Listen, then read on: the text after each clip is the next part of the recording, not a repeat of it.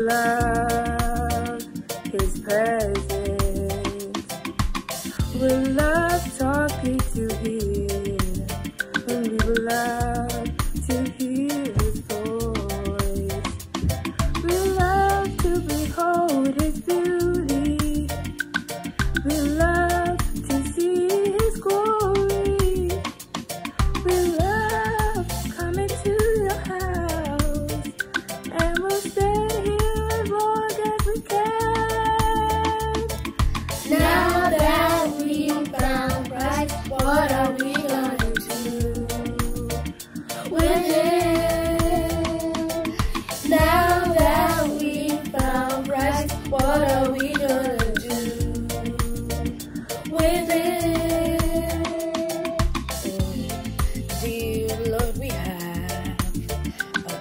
affection for your house. We'll give everything to build your church and make it glorious.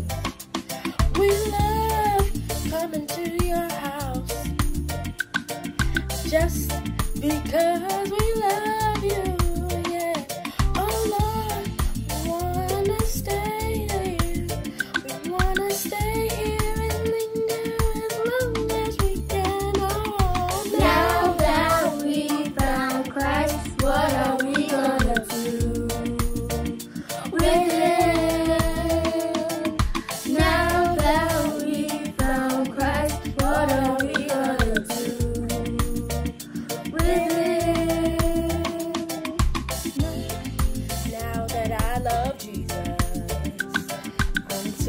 him with all my heart.